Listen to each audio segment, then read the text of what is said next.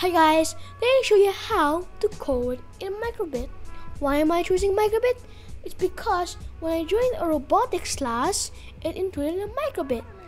And then when I looked far into it and tried to code it, it was like Scratch. So today I'm going to show you how to make a memory game.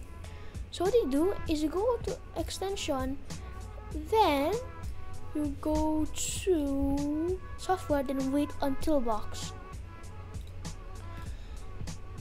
Then I already have it over here. So what you do is you go to logic then if if true then you get a math pick random then logic. If one pick random one to two if it's equal to one then you put it in the if then else and then the next thing you do is you put you do this then duplicate duplicate this again duplicate this again but for b. Then what it'll do is show string a then show string b.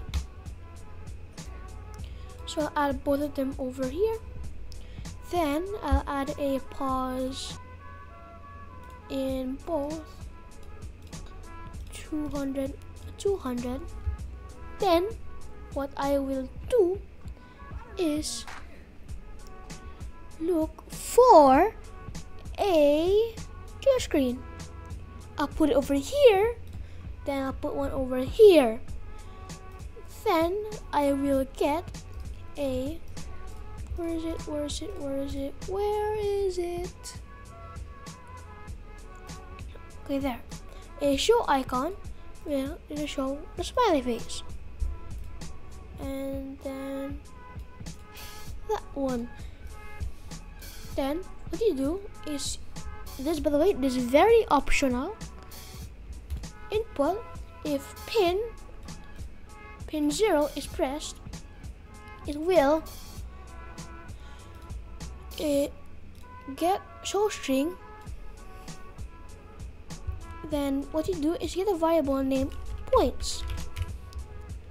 Then what you do is you start and set points to zero and change points to one for the smiley face on both.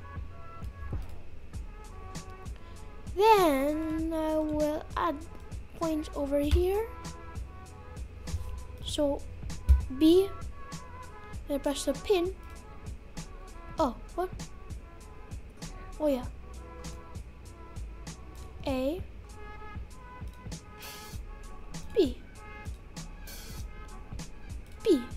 Then B, if I touch right now, I have five points. And that's how you make a memory game. Thanks for watching and have a great time coding.